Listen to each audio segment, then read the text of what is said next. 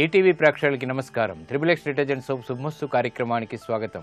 ఈనాడు శుభమస్తు కార్యక్రమంలోని గ్రహఫల మంచంలో గ్రహాల యొక్క స్థితిగతులు వాటి యొక్క శుభాశుభ ఫలితాల గురించి పరిశీలిద్దాం.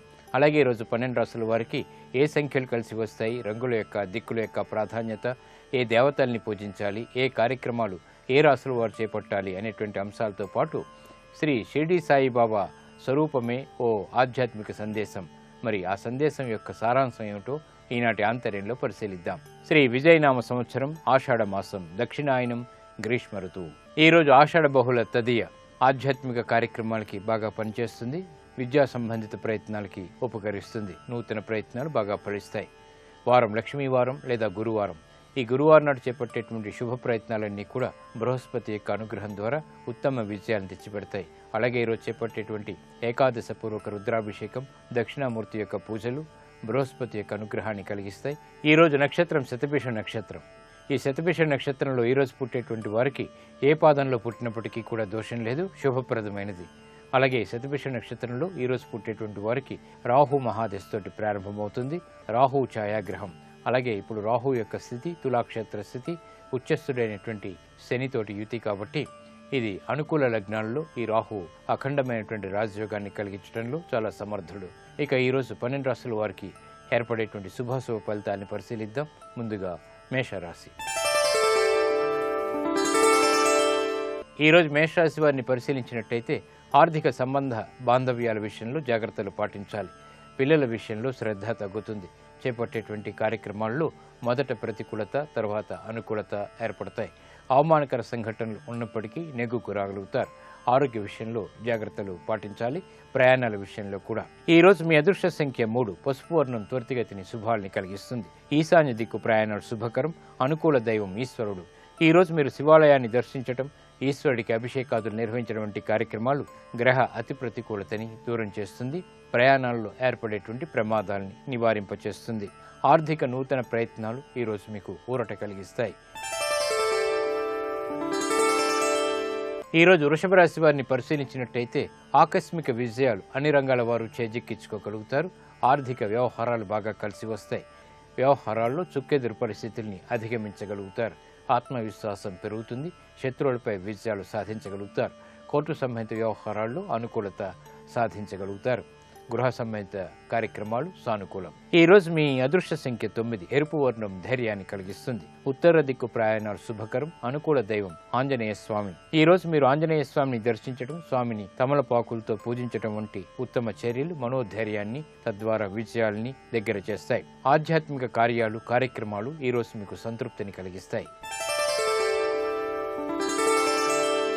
ఈ రోజు మిథున రాశి వారిని పరిశీలించినట్టయితే గౌరవప్రదమైనటువంటి కార్యక్రమ నిర్వహణ కొనసాగించగలుగుతారు. ఆదాయంలో ఏర్పడినటువంటి అనిశ్చితి తొలగిపోతుంది. గృహ విషయాల్లో ఆశించినటువంటి ప్రయోజనాలు పొందగలుగుతారు. వ్యయం ఎక్కువగా ఉన్నప్పటికీ ఆదాయాన్ని కూడా పెంపొందింప చేసుకునేటువంటి మార్గాలు సులభతరమవుతాయి. వృత్తిపరమైనటువంటి అభిప్రాయ భేదాలు వీడిపోతాయి.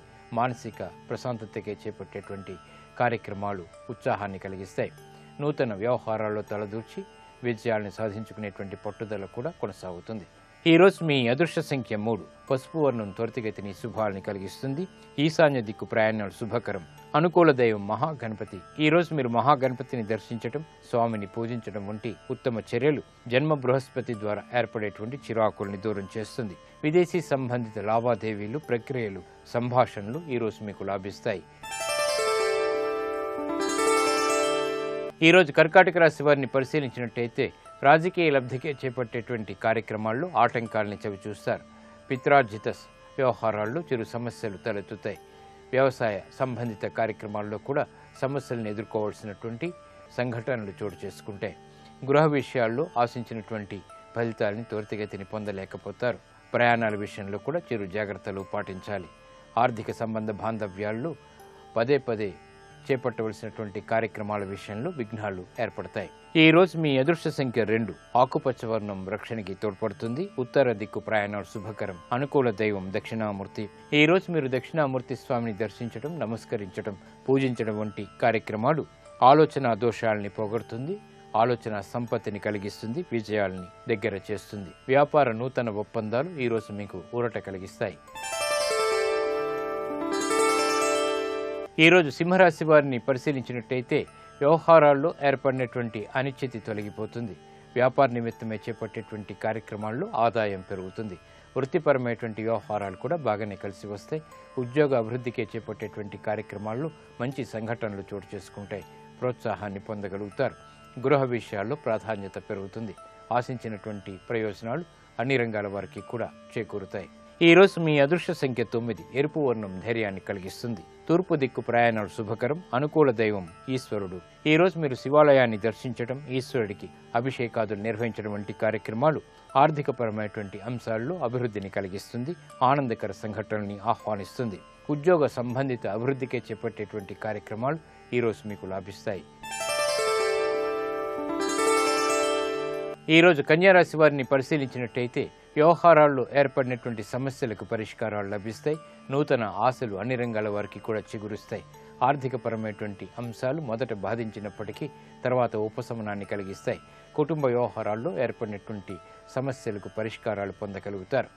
వాహన సంబంధిత వ్యవహారాల్లో కూడా జాగ్రత్తతో కూడినటువంటి నిర్ణయాల ద్వారా విజయాలు సాధించగలుగుతారు. నూతన కార్యక్రమాలు విదేశీ వ్యవహారాల్లో పెంపొందింప చేసుకునేటువంటి అవకాశాలు దగ్గరవుతాయి. మిత్రుల ద్వారా లబ్ధి చేకూరుతుంది. ఆరోగ్యం పర్వాలేదు. ఈ రోజు మీ అదృష్ట సంఖ్య ఒకటి. ఎరుపు వర్ణం ధైర్యాన్ని కలిగిస్తుంది. దక్షిణ దిశ ప్రయాణాలు శుభకరం. అనుకూల దైవం సుబ్రహ్మణ్య స్వామి. ఈ రోజు మీరు సుబ్రహ్మణ్య స్వామిని దర్శించడం స్వామికి అభిషేకాదులు నిర్వహించడం వంటి కార్యక్రమాలు ఆర్థికపరమైనటువంటి చిరాకుల్ని దూరం చేస్తుంది. మానసిక ప్రశాంతతని పెంచుతుంది. ఆరోగ్య పరీక్షలు ఈ రోజు మీకు అనుకూలిస్తాయి. ఈరోజు తులారాశి వారిని పరిశీలించినట్టయితే ఉద్యోగ ప్రయత్నాలు భరిస్తాయి నూతన ఆశలు అన్ని రంగాల వారికి కూడా చిగురుస్తాయి.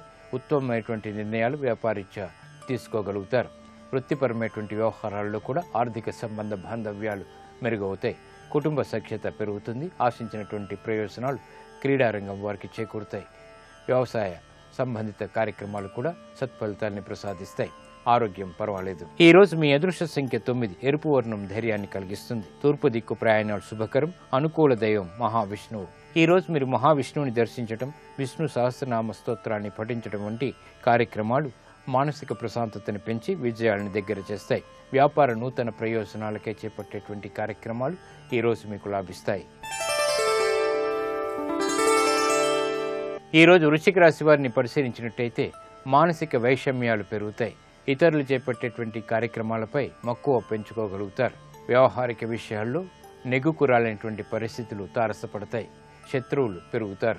చేపట్టేటువంటి కార్యక్రమాలపై శ్రద్ధ ఏకాగ్రత వంటివి లోపిస్తాయి. ఆర్థికపరమైనటువంటి అంశాల్లో జాగ్రత్తలు పాటించాలి. పెట్టుబడుల విషయంలో పొరపాట్లు దొర్లుతాయి. నూతన కార్యక్రమాల్ని త్వరితగతిని ప్రారంభించలేకపోతారు. మానసిక ప్రశాంతత కరువు అవుతుంది. ఈరోజు మీ అదృష్ట సంఖ్య ఒకటి పసుపు వర్ణం శుభాల్ని ఆహ్వానిస్తుంది. ఈశాన్య దిక్కు ప్రయాణాలు శుభకరం అనుకూల దైవం శ్రీ వెంకటేశ్వర స్వామి. ఈ రోజు మీరు వెంకటేశ్వర స్వామిని దర్శించటం స్వామికి అభిషేకాదులు నిర్వహించడం వంటి కార్యక్రమాలు గ్రహ అతి ప్రతికూలతని దూరం చేస్తుంది మానసిక ప్రశాంతతని పెంచుతుంది విజయాల్ని దగ్గర చేస్తుంది. ఆర్థిక నూతన ప్రయత్నాలు ఈరోజు మీకు ఊరట కలిగిస్తాయి. ఈరోజు ధనుసు రాశి వారిని పరిశీలించినట్టయితే ఆకస్మిక విజయాలు అన్ని రంగాల వారికి చేకూరుతాయి. ఆత్మవిశ్వాసం పెరుగుతుంది. నూతన కార్యక్రమాల్ని చకచకా పూర్తి చేయగలుగుతారు. సంభాషణలు కార్యరూపం దాల్చుతాయి. మిత్రుల లబ్ధి లభిస్తుంది. వృత్తిపరమైనటువంటి వ్యవహారాల్లో గౌరవం పెరుగుతుంది. పెద్ద పెద్ద కార్యక్రమాల్ని చేపట్టగలుగుతారు. ఆదాయాన్ని పెంపొందింప చేసుకునేటువంటి మార్గాలు సులభతరం అవుతాయి ఆరోగ్యంలో కూడా మంచి మార్పులు ఆనందాన్ని కలిగిస్తాయి కుటుంబ సఖ్యత కొనసాగుతుంది. ఈ రోజు మీ అదృష్ట సంఖ్య మూడు. పసుపు వర్ణం త్వరితగతిని శుభాలని కలిగిస్తుంది. ఈశాన్య దిక్కు ప్రయాణాలు శుభకరం. అనుకూల దైవం దక్షిణామూర్తి. ఈ రోజు మీరు దక్షిణామూర్తి స్వామిని దర్శించడం స్వామికి నమస్కరించడం వంటి ఉత్తమ చర్యలు శుభ పరిణామాల్ని ఆహ్వానిస్తుంది. ఆనందకర పరిస్థితులు ఏర్పడతాయి. నూతన స్నేహాలు ఈరోజు మీకు లబ్ధిని చేకూరుస్తాయి. ఈ రోజు మకర రాశి వారిని పరిశీలించినట్టయితే చేపట్టేటువంటి కార్యక్రమాల్ని పదే పదే చేయవలసినటువంటి ఆవశ్యకత ఏర్పడుతుంది. ప్రతి పనిలోనూ విఘ్నాల్ని చవి చూస్తారు. కుటుంబ వ్యవహారాలు సానుకూలం. వృత్తిపరమైనటువంటి వ్యవహారాల్లో ఆర్థికపరమైనటువంటి ఇబ్బందులు కొనసాగుతాయి. నూతన వ్యవహారాలు గృహరీత్యా చేపట్టినప్పటికీ ఆలస్యంగా పూర్తి చేయగలుగుతారు. విద్యా సంబంధిత వ్యవహారాల్లో విఘ్నాన్ని చవిచూస్తారు. ఈ రోజు మీ అదృష్ట సంఖ్య ఐదు. ఆకుపచ్చ వర్ణం రక్షణకి తోడ్పడుతుంది. తూర్పు దిక్కు ప్రయాణాలు శుభకరం. అనుకూల దైవం వెంకటేశ్వర స్వామి. ఈ రోజు మీరు వెంకటేశ్వర స్వామి దర్శించడం నమస్కరించడం పూజించడం వంటి కార్యక్రమాలు గ్రహ ప్రతికూలతని దూరం చేస్తుంది. విజయాల్ని ఆహ్వానిస్తుంది. విద్యా సంబంధిత ప్రయత్నాలు మాత్రం ఈ రోజు మీకు లాభిస్తాయి. ఈ రోజు కుంభరాశి వారిని పరిశీలించినట్లయితే పిల్లల అభివృద్ధి ఆనందాన్ని కలిగిస్తుంది ఆర్థిక వ్యవహారాలు బాగా అనుకూలిస్తాయి. బుద్ధితో కూడినటువంటి నైపుణ్యంతో కూడినటువంటి కార్యక్రమ నిర్వహణ తద్వారా కీర్తి ప్రతిష్టలు ఏర్పడతాయి. వృత్తిపరమైనటువంటి వ్యవహారాల్లో కూడా కీలక బాధ్యతలు వహించగలుగుతారు. గృహ సంబంధిత కార్యక్రమాల్లో ప్రాధాన్యత పెరుగుతుంది. ఆశించినటువంటి ప్రయోజనాలు అందరికీ ఏర్పడతాయి. చిరునవ్వుతో కూడినటువంటి కార్యక్రమ నిర్వహణ కొనసాగుతుంది. ఈ రోజు మీ అదృష్ట సంఖ్య ఐదు. ఆకుపచ్చ వర్ణం ఆహ్లాదాన్ని కలిగిస్తుంది. ఉత్తర దిక్కు ప్రయాణాలు శుభకరం. అనుకూల దైవం శ్రీ మహాగణపతి. ఈ రోజు మీరు మహాగణపతిని దర్శించడం నమస్కరించడం పూజించడం వంటి చర్యలు మంచి ఫలితాలని శుభ ఫలితాలని కలిగిస్తాయి శుభవార్తల్ని ఆహ్వానిస్తాయి. గృహ కార్యక్రమాలు ప్రయోజనాలు ఈరోజు మీకు లాభాలని తెచ్చిపెడతాయి. ఈ రోజు మీనరాశి వారిని పరిశీలించినట్టయితే అన్ని రంగాల వారికి చిరు సమస్యలు ఏర్పడతాయి. సందిగ్ధతతో కూడినటువంటి కార్యక్రమ నిర్వహణ కొనసాగించగలుగుతారు. వృత్తిపరమైనటువంటి వ్యవహారాల్లో అభివృద్ధిలో ఆటంకాలని చవిచూస్తారు. నూతన కార్యక్రమాల్లో ఆశించినటువంటి ప్రయోజనాలు వేగవంతంగా ముందుకు పోలేకపోతాయి. వృత్తిపరమైనటువంటి వ్యాపారపరమైనటువంటి ఉద్యోగ సంబంధిత వ్యవహారాల్లో ఆశించినటువంటి ప్రయోజనాలకే పునఃప్రయత్నాల ద్వారా విజయాలు సాధించగలుగుతారు. కుటుంబ వ్యవహారాలు సామాన్యం ప్రయాణాలు పర్వాలేదు. ఈరోజు మీ అదృష్ట సంఖ్య ఐదు. ఆకుపచ్చ వర్ణం రక్షణకి తోడ్పడుతుంది. ఉత్తర దిక్కు ప్రయాణాలు శుభకరం. అనుకూల దైవం శ్రీ వెంకటేశ్వర స్వామి. ఈరోజు మీరు వెంకటేశ్వర స్వామిని దర్శించడం పూజించడం నమస్కరించడం వంటి ఉత్తమ చర్యలు గ్రహ అతి ప్రతికూలతని తోరించేస్తుంది. విజయాల్ని ఆహ్వానిస్తుంది. ఆధ్యాత్మిక కార్యాలు కార్యక్రమాలు ఈరోజు మీకు సంతృప్తిని కలిగిస్తాయి. నేటి గ్రహయోగాన్ని పరిశీలిద్దాం. నేటి గ్రహాల యొక్క స్థితిగతుల్ని పరిశీలించి ఈరోజు చేపట్టవలసినటువంటి కార్యక్రమాలను విచారించినట్టయితే ఆర్థిక సంబంధ వ్యవహారాలు ఈరోజు బాగా పనికి వస్తాయి. బ్యాంకింగ్ వ్యవహారాల్లో ముఖ్యమైనటువంటి కార్యక్రమాలకి ఇది చాలా ఉపయోగపడుతుంది. పిల్లల విషయంలో కూడా శ్రద్ధతో కూడినటువంటి కార్యక్రమ నిర్వహణకి ఈ రోజు చాలా శ్రేయస్కరం.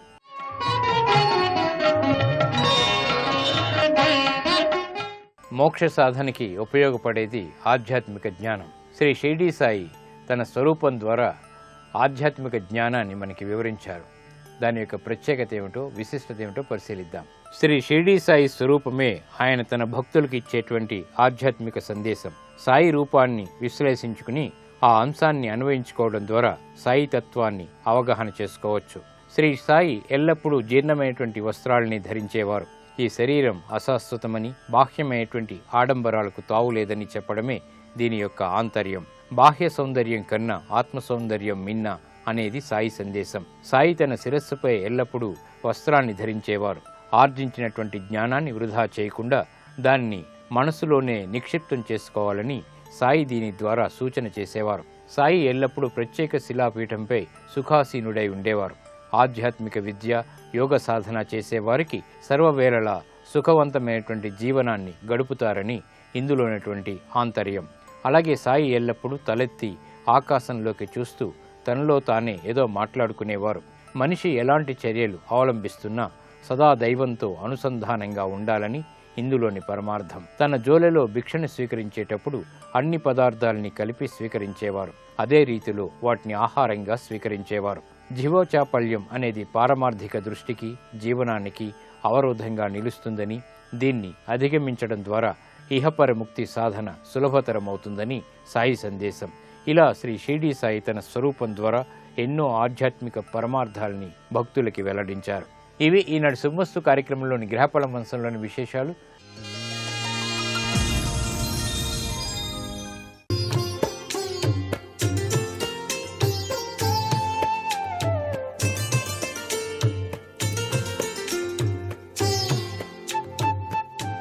Triple X detergent soap. శుభమస్తు కార్యక్రమంలో గృహ బలం అంశానికి స్వాగతం.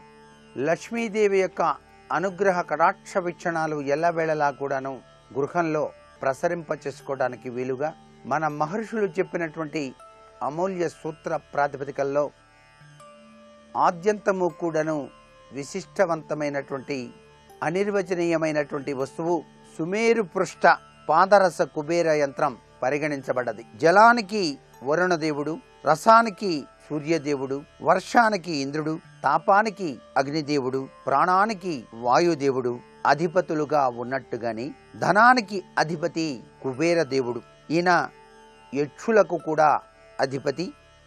ప్రపంచంలోని సమస్త ధన సంపదకు కూడా కుబేరుడే అధిపతి కాబట్టి ధన సంపదల లోటుతో బాధపడేవారు దారిద్ర్య పీడితులకు అపార సుఖ విలాసాలు కాంక్షించే వారికి ఈ కుబేర యంత్రం కుబేరుని ప్రతిమతో సమానంగా ఫలితాల్ని ప్రసాదిస్తుంది. దీనిని నియమపూర్వకంగా పూజించేటువంటి వారు దారిద్ర్య శాపం నుండి విముక్తి పొంది సుఖ సంపన్నతతో కూడిన జీవితాన్ని గడపడానికి ఆస్కారం ఉంది. ఈ యంత్రం దారిద్ర్య నివారణకు అత్యంత ప్రభావయుక్తమైన సాధనంగా రుజువైంది కాబట్టి దీని విశిష్టతను మాటల్లో వర్ణించటం అసంభవం. శాస్త్రాల్లో కుబేరుడిని ధనాధిపతి ధనదేవతగా వర్ణించారు కాబట్టి కుబేరుడు లక్ష్మీదేవికి సేవకుడు ద్వారపాలకుడు కోశాకార రక్షకుడు. కుబేరుడు దయదలిస్తే లక్ష్మీదేవి యొక్క ఆగమనం జరుగుతుంది.